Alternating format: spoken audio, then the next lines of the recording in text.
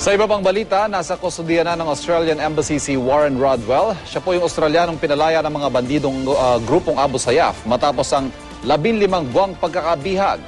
Apat na milyong pisong ibinayad umano ng Pilipinang asawa ni Rodwell taliwas sa no ransom policy na ipinapatupad ng ating gobyerno. Narito ang report. Paikay kang dumating sa naiya si Warren Rodwell, ang Australianong binihag ng bandidong Abu Sayyaf at pinalaya nitong Sabado matapos ng 15 buwan. Payat at mahina pa si Rodwell pero tila din na niya ito ininda para lang makapagpasalamat ngayong kapiling na niyang muli ang pamilya. Uh, What I would like to do is to uh, convey my heartfelt thanks to the Filipino government and the Australian government, all those people behind the scenes.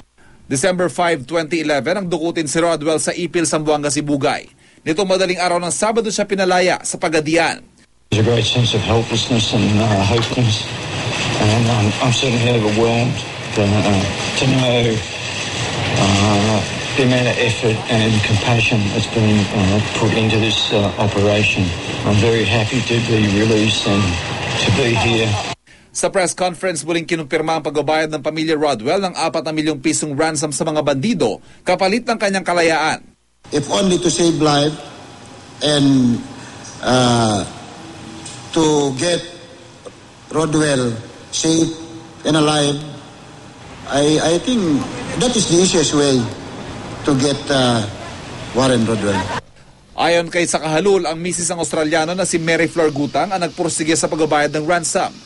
Lalo't nagbanta raw ang Abu Sayyaf na papatay ng bihag sa mismong linggo ng pagkabuhay. Nauna na itong inamin ni Mary Flor sa GMA News. Yung mga ari-arian namin binibinta, iniipon ko. Like, Yung mga nagiging mga naipon na pera ni Warren na, na ayaw niyang ipagalaw sa akin pero binigay ko. Kasi wala naman akong maasahan na iba, di ba? Walang tulong na dumating sa akin na sa, galing sa ibang bansa. Paglilinaw naman ni Sakahalul, wala raw kinalaman ng mga gobyerno ng Pilipinas at Australia sa pagbabayad ng ransom. Una rito, iginit mismo ni Pangulo Aquino na nananatili ang no ransom policy ng pamahalaan.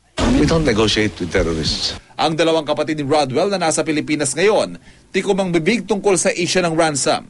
Gayunman umaasa silang hindi ito magiging dahilan para itigil ng gobyerno ng Pilipinas ang pagdugis sa mga bandido.